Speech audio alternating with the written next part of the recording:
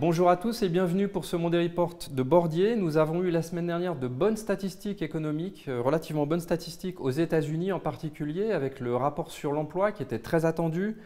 L'économie américaine a créé presque 200 000 emplois au mois de novembre, 150 000 emplois dans le secteur privé, et le taux de chômage a encore baissé de 0,2 points à 3,7% seulement. Ça, ça alimente le scénario euh, de marché d'un atterrissage en douceur de l'économie américaine et euh, ça nous fait penser que la Réserve fédérale américaine, dans sa réunion de mercredi, n'aura absolument aucun intérêt à annoncer, euh, en tout cas cette fois-ci et même à court terme, euh, de baisse de taux directeur.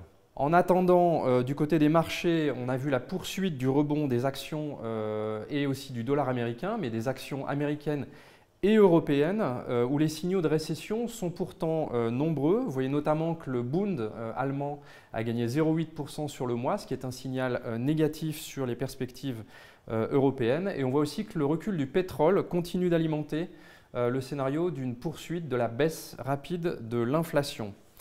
Alors, ce recul des taux longs, il redonne du potentiel à une classe d'actifs qui nous intéresse, en particulier pour les investisseurs suisses, où les taux longs sont tombés en dessous de 1% maintenant c'est celle de l'immobilier, euh, et notamment euh, de l'immobilier euh, résidentiel, comme alternative aux obligations à duration longue. Vous voyez que l'indice suisse des fonds immobiliers a corrigé depuis deux ans de manière assez nette.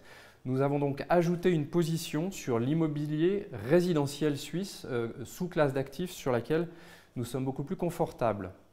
Merci de votre attention, je vous souhaite une bonne semaine et vous dis à la semaine prochaine.